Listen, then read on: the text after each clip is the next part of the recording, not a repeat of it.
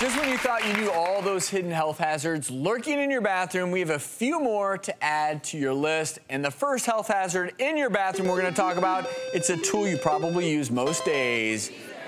And the bad part is some of you are using them in your nose to pull and pluck your nose hairs, which is terrible. Those nose hairs are there for a reason. They're there to filter out the bacteria as you're breathing. And so what you're doing, as you pull one out, you're introducing potentially bacteria into your bloodstream, which is so close to your brain and your sinuses that that is a no-no. So please, no plucking of the nose hairs. Just kind of trim them. brain abscess. It's just not yes. worth it. Yes. But do, hey, do So what's the alternative? Trim your nose hairs. Trim? Do. Like, You know, I can't even imagine Your nose buying... is not a chia pet.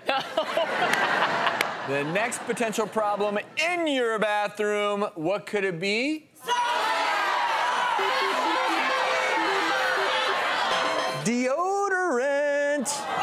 What's the problem with the deodorant, ladies? De- Deodorant basically gets to the point after about six months, you notice, you just don't feel quite as fresh. Well, your body's used to it and it stops working. So you want to rotate You your deodorant. You get tolerant to you your get deodorant? You get tolerant to And then you need more, And like then you- alcohol? Exactly. or do do what Travis does on the weekends. Don't wear any.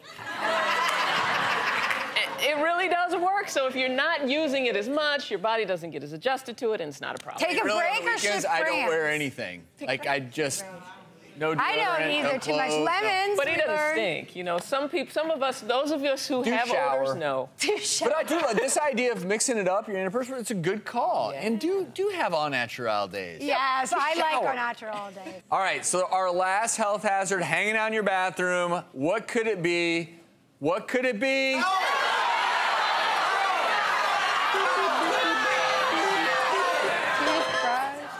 Good old-fashioned cotton swabs hanging out on your counter.